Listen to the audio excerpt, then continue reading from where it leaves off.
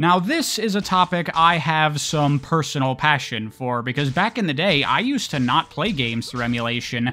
I would only play old games through official means, unlike the Nintendo Virtual Console or whatever other thing was available at the time. And I was perfectly content with that at the time, but eventually I did start to look into game emulation a little bit, and when I started playing games on emulation, I started to realize that, oh my god, I've been doing it wrong this entire time because oftentimes the official way to play old games is so bad, and when you go to unofficial emulation, you see all of the incredible things you can do with old games. And nowadays, I play tons of old games through emulation. It's very rare that I load something up on some official re release or go back to the original consoles because there's really just no reason to. Oftentimes, emulation is just the objectively better way to play old games, and I love it for that. And that's why I'm making this video, because I want to help others realize the same thing I did years ago.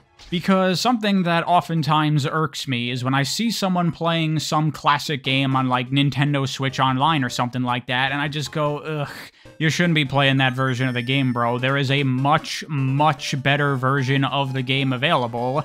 And that's not to criticize the people that play these versions of these games. You know, a lot of times they just don't even know about what's available. My criticism here is for the companies that put out these very mediocre re-releases of classic games and have people playing and oftentimes paying for inferior versions of games that are already available in a superior form elsewhere. And I know there are many people out there who don't have the capability to emulate games, you know, they don't have PCs or whatever, but there are a lot of people out there that are perfectly capable of emulating games, they just don't do it, either because they don't know about what's available, or maybe they don't want to for some weird reason. And to me, that's just a shame because you're robbing yourself of a much better experience revisiting that classic game or whatever. So join me on a little trip as I show you all of the amazing things available when playing games through emulation. However, before we get into that, I first want to address reasons that people often don't play games through emulation, and I want to talk about those things a little bit. The first big one would be the legality of playing games through emulation. You know, a lot of people are like, oh, I don't want to play games through emulation because it's illegal or whatever. But that is false. You have been fed lies by gaming companies. There is absolutely nothing illegal about emulating games. Pirating games is what is illegal, but playing a game on an emulator is perfectly a-okay. Now, of course, many times when people play games through emulation, it's through pirated copies of games that they download online, and that certainly is illegal, but it doesn't have to be that way. It is very possible to take your own legit copy of a game and get the files onto your computer and then play it through emulation. Problem there is that oftentimes it can be a very complicated and time-consuming process in order to do that, so I totally understand people not wanting to jump through all those hoops in order to be able to do that. But that is when we get into the morality of downloading games, because as we all know, no one's really gonna come after you if you download a fucking NES game and start playing it on your computer. But no doubt that is most definitely stealing, and even if you're not going to get in trouble for that, maybe you don't want to do that kind of thing. But I think that there are ways that you can do it and still be in the clear as far as the ethics of game emulation is concerned. For example, if you already have a legit copy of the game, then I'd argue it's not pirating if you download it because nothing stops you from going through the hassle of getting your own files onto your computer, and then it is functionally identical to as if you had downloaded the game online. You have your legit physical copy and then a digital version of that same game on your computer. The only difference is where those files are coming from which as far as I'm concerned is really just a way for you to save yourself a bunch of time and a giant headache. Which, by the way, this is not legal advice, this is just my opinion on these kinds of things.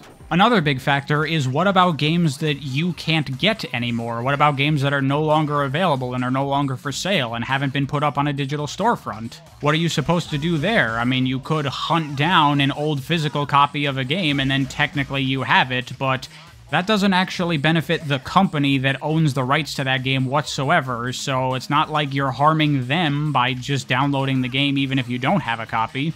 The only person you're technically harming there would be the seller on eBay or whatever, but even then, there are also extreme cases out there, like if you're to play a game that is super duper rare and valuable, like this game right here, Ninja 5 This is a cool little GBA ninja action platformer, and it's really, really fun do me a favor and go look up how much a copy of Ninja 5 is on eBay, and yeah, it's fucking ridiculous. You have to, like, sell your spleen to be able to get a copy of this game.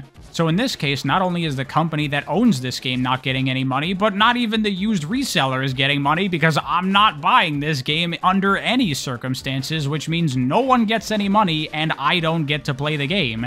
The only difference here is no one gets any money, and I do get to play the game. No one is being harmed in this case, so I would say that's perfectly fine. Again, not legal advice. Also, another thing to consider is what about games that are completely unavailable now, such as digital-only games that have been removed from their storefronts, or the storefront itself has been shut down. There's just no way to get these games whatsoever anymore at all, so you're not harming anyone by grabbing these. Another reason I often hear of why people don't like to emulate games is because of emulation quality, how emulators sometimes can fail to 100% accurately emulate the console, and thus games don't exactly work the way that they're supposed to. And that can definitely be a thing sometimes, but I feel like people that are concerned about this maybe had like a bad experience with an emulator way back in the day, because these days there are a lot of really good or really accurate emulators out there that can run most games on their libraries totally fine. You just gotta make sure you're using the right emulators, which of course that could require some research about which are the good emulators, which are the bad ones. Oh god, it's a giant headache. But don't worry, I've already gone through that headache for you, and I'm gonna have some recommendations at the end of the video.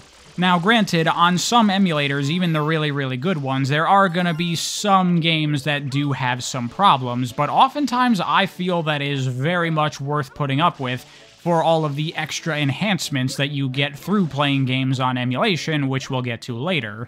Another big reason I think a lot of people don't get into emulation of games is because it requires a little bit of PC gaming techie know-how, and that is definitely a thing. Sometimes emulating games and really just PC gaming in general can be a fucking nightmare and can require all this troubleshooting and oh god, what's going wrong? I don't understand. Something is broken and it wasn't broken yesterday. What the fuck? Nothing changed. Oh god.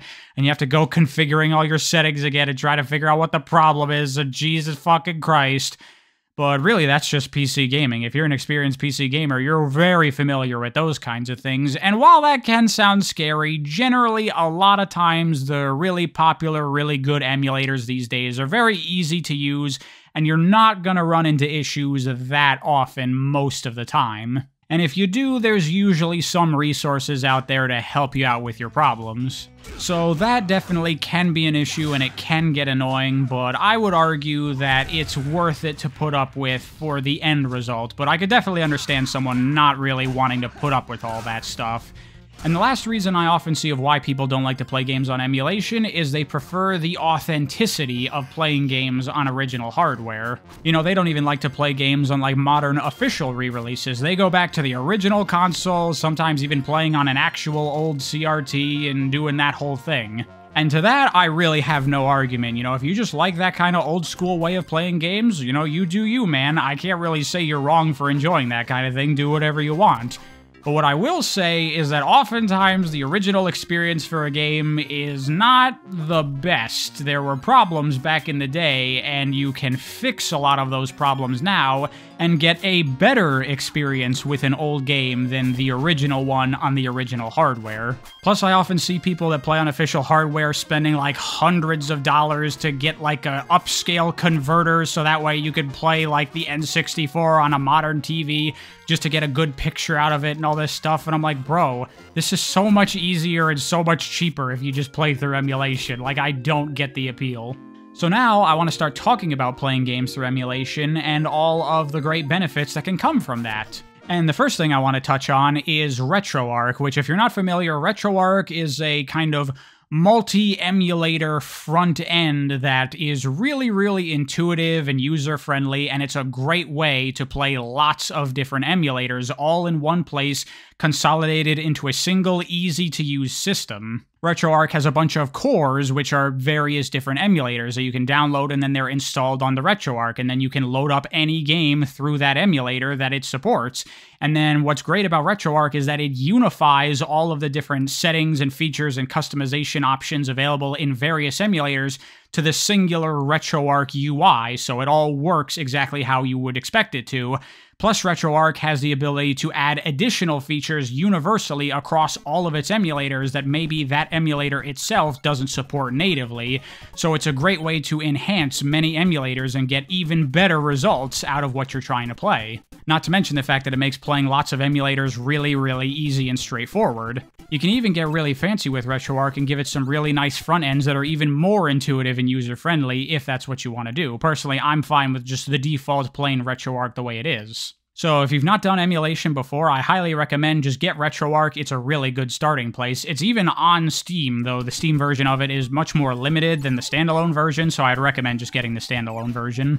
I'll have a link to that, as well as many, many other things that I'm going to mention throughout the video in the description. Now with that out of the way, let's start talking about the real benefits that can come from playing games through emulation, starting at the beginning, or at least the beginning as far as anyone actually cares with the NES. A lot of NES emulators have a nice feature where you can fix the flickering that happens on NES when there are too many sprites loaded into the game because the NES couldn't properly render that many objects at once. Through emulation, you can fix that issue, which is very nice. But way more significant than that is you can fix the slowdown. This is actually something you can do on a number of different emulators for many different consoles, not just improving their frame rates, but also making them more stable, stopping frame drops, and in other cases, also fixing slowdown so you don't have to deal with that anymore, which is great. But by far the coolest thing you can do with NES emulation is texture loads, where you can completely reskin a game with higher resolution textures. For example, I'm playing Mega Man 1 right here, and this is not a port of it on a different system or a remake or anything. This is the NES version of Mega Man 1, but it has a texture pack running that overlays on top of the original sprites to make the game look way nicer than originally did. And this is something that I could definitely see people taking or leaving. Maybe you prefer the old school sprites, and that's totally fine. I would agree in many cases, actually. But it's certainly a cool thing, you can't deny that. The fact that this is even possible, you can even swap out the music for some games to have higher quality versions of it. Pretty cool feature, I would say. And this is the kind of thing where this is not available for every NES emulator, so you gotta make sure you're using the right one, which again, I'll have recommendations at the end. Now, moving on to SNES, and this is something you can also do with the Sega Genesis, this is a feature that's definitely in its infancy with these systems, but there are a couple of games you can do it for. Some emulators for these systems have started to enable playing games in widescreen in 16 by 9 which is really, really cool. Now, oftentimes, a lot of games don't work if you just try to run it in 16 by 9 because they're not programmed that way, so oftentimes they'll need some sort of patch or ROM hack in order to work. But some games, like Shinobi 3 here, just work when you run them in widescreen, which is really, really cool. Now, for Game Boy, this is a very specific thing, and it really pisses me off anytime Nintendo re releases Game Boy games officially because oftentimes they have no options for colors. Normally, they'll just have the game available in black and white, or for Nintendo Switch Online, they had like very basic color palette stuff that you can do. But there's a lot of color stuff that's available for old Game Boy games if you're running them on the right hardware. For example, Kirby's Dream Land 2 had Super Game Boy support, so you could play the game in a much more colorful form, and this is something that you cannot do through any official version of Kirby's Dream Land 2 that has ever been re-released. And that's really fucking stupid because if you just ran the game in Super Game Boy mode, then you would get a better experience. And through certain Game Boy emulators, you can do that and you can get those extra benefits. This is the kind of thing I'm talking about when people play through official means. It's like fucking Nintendo will not put in the work to actually provide a satisfactory version of these old games, and it fucking pisses me off. Uh, for Game Gear, there's one cool thing in particular that you can do, which is that the Game Gear and the Master System are basically the exact same console, but with some slight modifications to them and they're actually so similar that certain Game Gear emulators can run Game Gear games at Master System resolution, massively increasing the screen space and letting you see way more in things like platformers. In fact, some Game Gear games were originally Master System games, and when they were ported to Game Gear, they didn't, like, rescale the sprites or anything, so you just can't see enough to play the game properly. But something like this can enable you to fix that if you're not just going to play the Master System version of certain games. But it's worth mentioning this doesn't work with every single game. Some games are just broken if you try to do it, but for the games that it does work, it's a very cool little feature. Now, moving into the realm of 3D emulators, many of them have the same three big improvements that are possible, which is that one, you can run the game at pretty much any resolution. Many old games that could only run in 4x3 can be forced to run in widescreen. And of course, many old games, due to the limitations at the time, only ran at 30 FPS or sometimes below, and oftentimes you can force those games to now run at higher frame rates, which is wonderful. Those three benefits alone are huge to me and are automatically going to make me go towards emulation whenever I'm going to try to play an old school 3D game. But then on top of that, many 3D emulators also have other nice enhancements and features that they can implement. For example, on the PS1, that console was not able to properly render textures in 3D, which is why you would get that texture warble on PS1 games whenever the camera was moving. But with certain PS1 emulators, you can fix that problem and get properly rendered 3D, which I really like a lot. This is something I could see some people not liking because the texture wiggling of PS1 games is kind of iconic to that console, but that's also one of the benefits of emulation. You can run the games however you would like. You can fix the problem if you want, or you can leave it the way it was. It's all about having the options and being able to play the game however you would like. Now for PS2, here's going to be one that some people probably aren't going to care about that much or might not even notice, but PS2 games often ran in interlace, they did not run in progressive scan. But many people online have created fixes for a lot of PS2 games to force them to run in progressive scan to make the games look way sharper and way better, which is fantastic. Moving on to the Wii, the biggest benefit for Wii emulation is the ability to remove motion controls if you want. If you want, you can play emulated Wii games on PC with a Wii Remote and Nunchuk just like you would the original games with a sensor bar and everything. But a lot of Wii games didn't really take advantage of motion controls in a meaningful way, and oftentimes waggling was just like a replacement for a button press, and it's just annoying and stupid and through button remapping, you can assign motion inputs to button presses and thus allow you to play motion required games with just a traditional controller, which is very nice. It's not going to work for every Wii game out there. There are a number of them that you're going to have to play with a Wii Remote and Nunchuk, but for the ones where you can, it's a very nice benefit. Also, for some games that are entirely pointer dependent, you can just apply that to your mouse and play it like a normal PC game, which is very cool and oftentimes will increase your accuracy. And when it comes to emulating DS and 3DS games, a nice thing you can do is you can customize the layout of the screens, because a lot of these dual screen games don't really take advantage of both screens in a very significant way, and so you don't really need the two screens taking up equal space since you can make one screen the main screen and then have a smaller secondary screen, which is really good. And for games where you do want to have one screen on top of the other, if you have a monitor that can turn into portrait mode, that is a great way to play these games. Another big benefit that a lot of emulators have is support for online play, because, you know, a lot of old games did not have anything like that. But through emulation, you can play a lot of games online. In particular, I really want to highlight Fightcade because this is an arcade emulator specifically designed for playing fighting games online, and it has fantastic rollback netcode, and it is like the place to go if you want to play classic arcade fighting games online with other people. In fact, Fightcade is so good that pretty much every official way to play these games online is just dead because everyone's just like, go to Fightcade, just play there. It's the way to do it. And those are a lot of the like emulator specific benefits you can get for playing games on this console versus that console.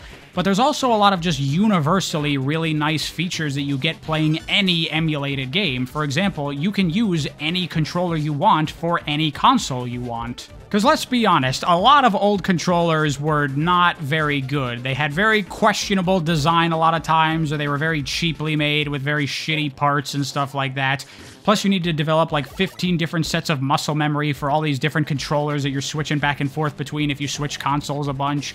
Whereas me personally, playing all these different consoles through emulation, I just use a modern Xbox controller for everything, and it's wonderful. In fact, if you have a controller with a gyroscope built into it, then you can even emulate motion inputs. Plus, there's also the option to remap button controls, because a lot of old games didn't really have the option to customize your controls and could sometimes have really weird, funky layouts where you're like, what the fuck? Or they'll have it so that you can't invert the camera and you're just stuck with that, but through emulation, you can just change your inputs and you can do whatever the fuck you want. Fuck you, game, I can invert the x-axis so looking left looks fucking left. Of course, the one thing everybody knows about emulation is save states, which, yeah, you can use them to cheat at games if you want, but save states can also be used as really great time savers. Like if you're playing something to try to practice speedrunning or whatever, then it can be a really good way to just have instant one-button restarts when that's not normally available in a lot of old games. So you can just, oh, made a mistake, right back to the beginning immediately and you're playing again without having to go through loading screens and this and that and repicking your character and repicking the level and all that kind of shit that you have to put up with games that just wastes a bunch of time. Another great thing about playing games through emulation is the ability to download save files if you want. Because picture yourself in this situation. You're having some buddies come over and you're all going to have a great time playing some Shrek Super Slam, as many people often do. But then your friends get over and you load up the game and oh no, you don't have all the characters and all the stages unlocked. Well, that sucks. And normally, the only way to unlock all this stuff would be through playing hours and hours of single player content, and you don't want to do that. You just want to play some matches with your buddies. You just want to have everything. Playing normally, you don't really have many options other than just to do it, or maybe copy a save file from a friend if they have it or whatever. But through playing emulation, it's super duper easy to just download a completed save file, put it in the right folder, and boom, now you have everything.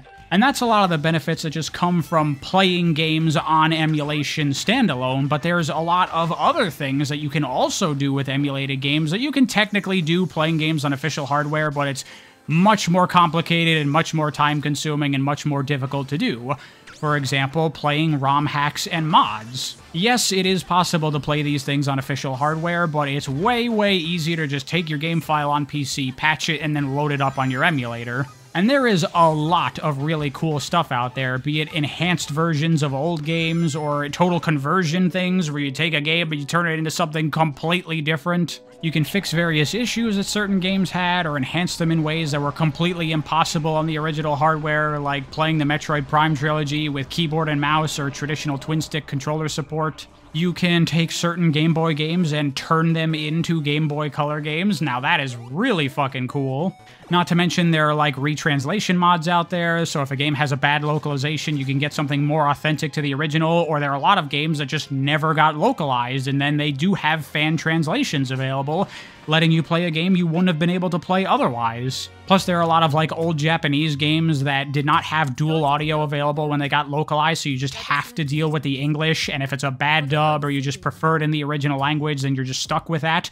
A lot of those have undubs available, letting you get the original audio but keep the translation, which is great. Plus, of course, there's like decensoring things where certain things get changed for different regions, and if you want the original version, then you can usually get some sort of mod or hack that will restore a lot of the cut elements from the game. Also, there's one thing in particular I think is very worth mentioning, which is Melee being able to be played with Slippi, to have online play with rollback, and it's got all these cool features and stuff. Like, that is really, really great. This is the problem with playing old games through official re-releases, is because they have budgets and deadlines, they're never going to be able to put that much stuff into these old games, so oftentimes we get very bare bones re-releases of things, oftentimes with bad emulation and lots of issues like that. And it could just never compete with what the community is able to do with a game, with all their free time and tons of people all contributing to this stuff over years. It's just way too good. So good that I struggle to pretty much ever recommend playing an old game through official means. Now, I mentioned earlier in the video that sometimes emulation can be a giant pain in the ass, which it definitely can be, and there's a lot of stuff to learn and a lot of groundwork and a lot of, oh god, what's happening? I don't know, I have to do a bunch of research and shit. And that does suck hard, let me tell ya. But as someone that has already gone through all that and done all the groundwork and gone through all that frustration and annoyance, let me save you some time. Let me give you some pro tips for emulating games to make your experience much smoother and much better and save you a giant headache. First things first, I highly recommend, not just for emulation, but also if you're doing PC gaming in general, I recommend downloading the program JoyToKey. It's a really, really good program that allows you to map keyboard and mouse controls to a controller, which is good for just generally PC gaming if games don't have proper controller support, but it's also good for emulators because it lets you set like hotkeys to certain buttons on a controller for like quickly loading and saving states and stuff like that. Plus, it can also enable you to do certain things in certain emulators that aren't really possible normally just using the emulator's input system, so definitely a program that you want to get. Another thing worth mentioning is that some emulators do also require a BIOS from the original console in order to run, such as, for example, PCSX2 requires a PS2 BIOS, so you're going to need to get a PS2 BIOS somewhere, which, similar for games, I'd recommend if you want to be in the moral clear on that, you should also have the console, so that way you have a legit copy of the BIOS. And here's a really, really big important one that I recommend. If you're going to be playing anything from some of the later gen 3D consoles, like a GameCube or PS2 game or something like that or later, usually the emulators for these games will have a wiki, and I highly, highly, highly recommend going to the wiki page for that game before you emulate it because oftentimes these pages will have lists of problems the game may have and you have to set the settings to these specific things in order to fix those problems and they'll oftentimes have codes and hacks available for higher frame rates or widescreen and they'll also sometimes even have texture packs available for running the game at higher resolutions. And that's actually another tip in general is to make sure you go into the emulator settings and configure things to your liking. A lot of emulators can have lots of different features that you might not know exactly what they do, and if you don't know what it is, don't fuck with it, just leave it how it is. But, you know, there are certain things like resolution and stuff like that that you can obviously fuck around with and try to experiment and see what you can get to look pretty good. And for a specific tip, if you're going to play on PPSSPP, then I recommend turning this setting off because this setting can introduce quite a bit of input lag to certain games, which is obviously no good. Another really, really big tip that a lot of people are not aware of when they play old sprite-based games is to make sure that your resolution and aspect ratio is set correctly. Because god damn it, is it the worst thing in the world when you see someone playing an old game and it's stretched out to full screen and it looks fucking terrible? Don't ever do that. These games were not meant to run in widescreen unless you have some kind of patch or hack or something like that. But also, you don't necessarily always want to run these old games in 4x3, because the thing about a lot of old consoles is that they didn't actually render a 4x3 image. They would oftentimes render an image narrower than that, and then they would stretch that image out on the CRT display to 4x3. And over time, a lot of games started to account for this stretch when they were illustrating the artwork so it would look correct. But some games were not designed that way, and some games, they're actually not meant to be stretched out like that. For examples of what I mean, if you look at Sonic the Hedgehog, this is an example of a game that was designed with the 4x3 stretch in mind. The easiest way to tell this is to look in the game for anything that's supposed to be a perfect square or perfect circle, and just look at it and ask yourself, is that a perfect square or perfect circle? You can see when Sonic rolls in a ball, yeah, he's a circle, that's perfectly correct. If you instead run the game in its native resolution with 1 by 1 square pixels, then now everything looks squished and it doesn't look correct. So Sonic is an example of a game that you want stretched out to 4 by 3 But then if we look at another game, you can see that when you run it in 4x3, you can see all the square tiles and they don't look right. They're not squares, they're rectangles. But then when you run the game at its native resolution, then there you go. Now they're proper squares. So this is how the game was supposed to look. That's a really big one that oftentimes a lot of people miss and don't even know about, so I hope I was able to help you out with that one. And actually, on the topic of making a game look the way it was supposed to, another thing about a lot of old games is that they actually were designed with the artifacts that came from poor video signal quality they actually made the game with those artifacts in mind, and they would actually use that to achieve certain visual effects. And if you want to get that true, authentic experience, then you have to either play the game on an actual CRT using like composite video, or certain emulators can allow you to have some filters on it. Like RetroArch, you can put that on pretty much any game you want, and you can have a CRT composite filter look. Obviously, it's not exactly the same as playing on a CRT, but it's a pretty close approximation, and a lot of times those effects can be properly emulated. As an example, take a look at this waterfall right here and how it's transparent. Thing about the Genesis, though, is that it could not do transparencies, so how is this doing this? Well, that's because of the composite video artifacts creating this effect. Because if we go to the raw output of the game, then you see what's really going on here.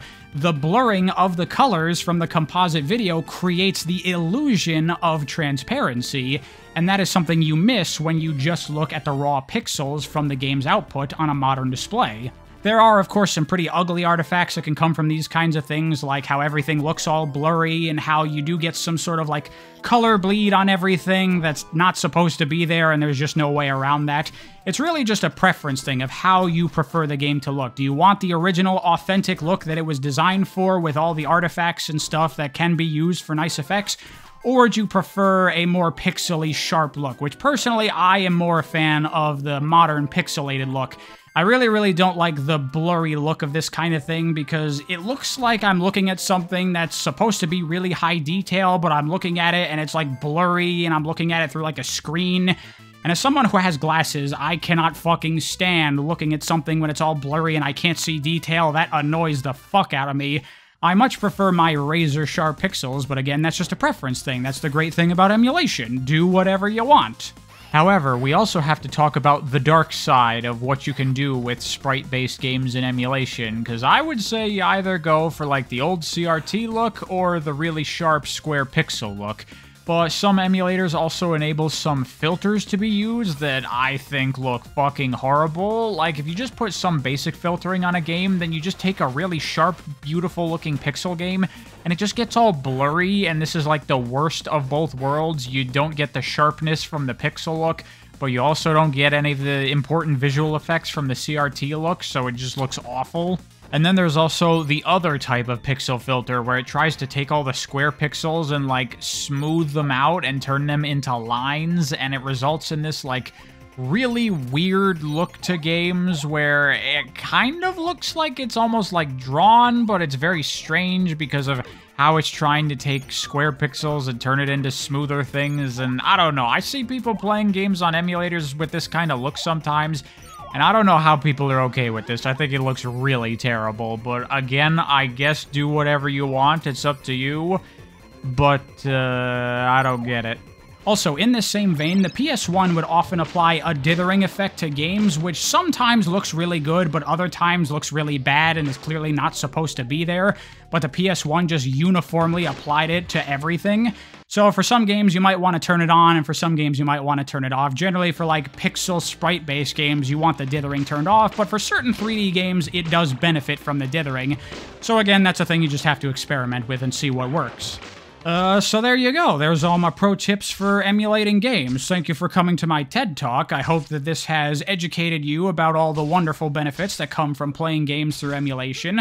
And if you want to get into emulation and you don't know where to start, as I said, RetroArch is a very, very good starting place. And here's a list of all the cores that I personally use for RetroArch. These are generally the best emulators I could find for all of these consoles.